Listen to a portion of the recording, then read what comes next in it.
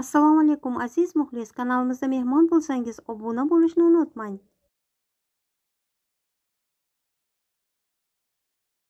Minoksidillarimizni 5, 10, 15, 16 prosentgacha bor. ochig'ini aytganda 90 foiz odamga effektini beryapti.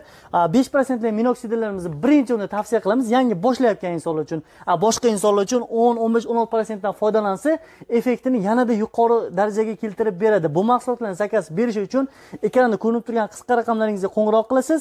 Mijozlarimizga do'konlarimiz bor. Moskvada metro avtozavodskiy, Peterda metro Sendai ploshad bemalol kelishingiz mumkin.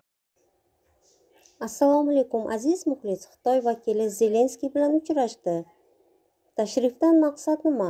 Xitoyning yevroosiyo masalalari bo'yicha maxsus vakili li xuy urushni tugatish va xitoy ukraina munosabatlari bo'yicha fikr almashish uchun ukrainaga bordi.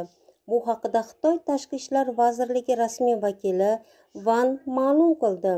Uning aytishicha li xuy ukrainaga safari davomida prezident vladimir zelenskiy prezident devoni rahbari andrey yermak tashqi ishlar vaziri dmitriy kuleba shuningdek energetika va mudofaa vazirlari bilan uchrashgan. Mamlakat oliy rahbariyati bilan suhbatda xuy fevral oyida xitoy yetakchisi si szinpin bilan tomonidan taklif qilingan tinchlik rejasiga asoslangan ukrainadagi urushni tugatish bo'yicha xitoy pozitsiyasini bayon qilgan. Uning ta'kidlashicha pekin o'z rejasi asosida tinch yo'l bilan tartibga solishda ishtirok etishga tayyor. Shuningdek ikki davlat vakillari ham mamlakatlar o'rtasidagi o'zaro manfaatli hamkorlikni rivojlantirish uchun birgalikda ishlashga kelishib olgan.